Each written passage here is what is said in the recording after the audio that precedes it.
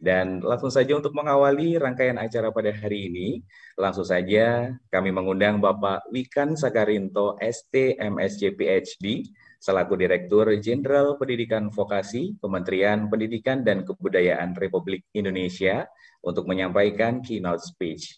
Kepada Bapak Wikan Sakarinto, kami persilakan. Terima kasih Mas Risan. Eh, Ibu dan Bapak serta teman-teman media pahami bersama bahwa kursus dan pelatihan atau suslat ini sama pentingnya dengan perguruan tinggi vokasi dan SMK. Tentunya kami Direktorat Jenderal Pendidikan Vokasi sangat menyambut baik dan tentunya sangat mendukung ini pernikahan atau kemitraan link and match antara ID Indonesia Academy dengan Archipelago Internasional. Ini tuh sekarang ada poin-poin baru atau keterbaruan di dalam inovasi baru dalam kerjasama ini. Jadi kerjasama pun bisa diinovasikan. Ada inovasi-inovasi baru, yaitu hybrid learning. Kalau nggak salah, ID Indonesia itu akan menyelenggarakan pembelajaran online melalui platform yang sudah disiapkan.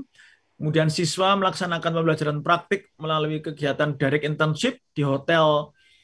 Di hotel-hotel ini kan Archipelago Indonesia itu kan jejaring hotel eh, nasional nih. Ini luar biasa sekali. Ini pasti jumlah pasar anggotanya tinggi, banyak ya. Dan yang kedua adalah distance internship atau magang jarak jauh ini kalau nggak salah ya. Jadi siswa IDEA Indonesia dapat mengikuti proses on the job training jarak jauh cara online pada unit hotel di bawah Aston Hotel Group. Nah, ini kan terobosan ini magang jarak jauh. Kemudian direct internship ya itu sudah berjalan. Serta yang keempat transfer of expertise and technology. Ya ini betul sekali bahwa eh, LKP, SMK, pendidikan tinggi vokasi itu harus terus diintervensi oleh ahli-ahli dan teknologi terkini di dunia industri dan dunia kerja. Nah, empat keterbaruan ini kami sangat mengapresiasi. Kami sangat mengapresiasi sekali ada keterbaruan di dalam uh, ino, uh, perkembangan kolaborasi antara Idea Academy dengan Archipelago Internasional ini.